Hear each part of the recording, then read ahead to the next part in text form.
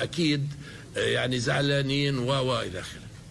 واللجنة يا سيدي حققت ورئيس اللجنة وزير العدل قال الوفاة غير طبيعية وأحيل الموضوع إلى القضاء العسكري.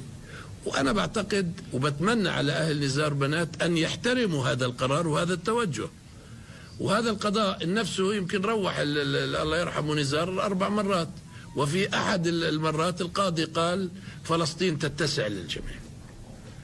من هون هم أمامهم خيارين.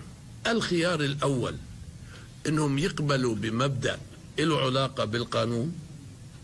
وله علاقه بالعرف؟ وله علاقه بالدين يا أخي؟ وإحنا والمشكلة مع السلطة. ولا علاقة لل 14 ع- 14 عائلة بهذا الموضوع.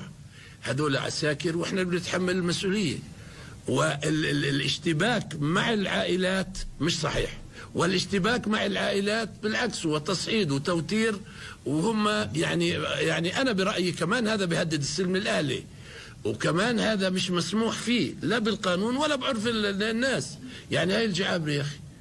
وأعتقد إنه الجماعة لما الناس حكت معهم قالوا لا يا عمي مش إحنا اللي بنسجل على حالنا إنه إحنا و و و إلى آخره. وأنا بقول مرة ثانية الموضوع هذا مع السلطة.